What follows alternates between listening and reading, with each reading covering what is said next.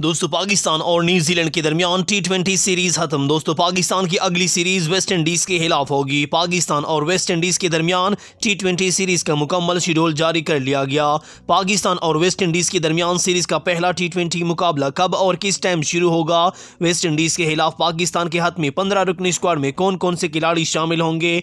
कौन कौन से पुराने खिलाड़ियों को पाकिस्तानी स्क्वाड में शामिल कर लिया गया? और कौन कौन से खिलाड़ी ड्रॉप हो जाएँगे? क्या पाकिस्तानी टीम के नए टी ट्वेंटी कप्तान एक मरतबा फिर बाबर आज़म होंगे। पहला टी ट्वेंटी मुकाबला पाकिस्तानी वक्त के मुताबिक कितने बजे शुरू होगा?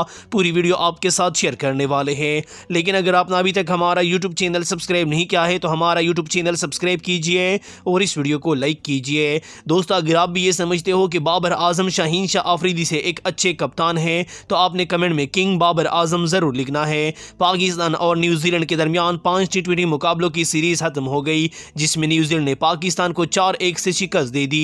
आखिरी मुकाबले में पाकिस्तान ने न्यूजीलैंड को बयालीस रन से शिकस्त तो दे दी, लेकिन पाकिस्तान सीरीज़ हार गया और पाकिस्तान की अगली सीरीज़ वेस्ट इंडीज़ के खिलाफ होगी। पाकिस्तान और वेस्ट इंडीज़ के दरमियान पाँच टी मुकाबले खेले जाएँगे। सीरीज़ का पहला टी मुकाबला पाकिस्तान सुपर लीग के फ़ौरन बाद खेला जाएगा।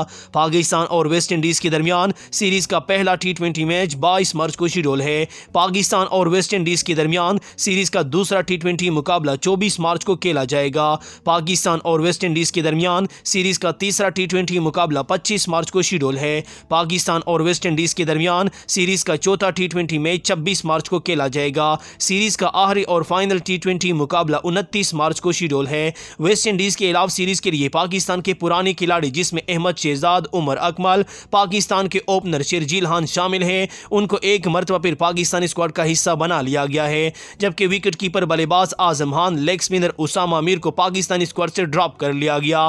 पाकिस्तानी टीम के सबक कप्तान शुएब मलिक भी वेस्ट इंडीज़ के खिलाफ सीरीज़ का हिस्सा बन सकते हैं।